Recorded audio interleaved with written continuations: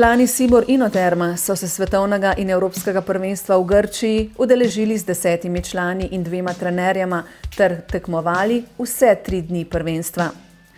Prvič so na velikem prvenstvu nastopili člani U16 in sicer par Anže Goleš in Enej Žagar, ki sta po lepo prikazanih obrambah v kategoriji dečkov osvojila naslov svetovnih prvakov.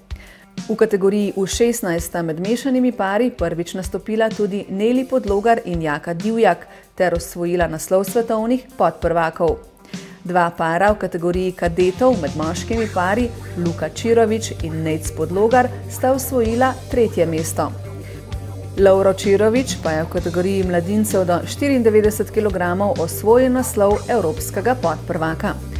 Slovenija je tako s tekmovalci iz ostalih klubov osvojila devet kolajn. Čestitke vsem tekmovalkam in tekmovalcem.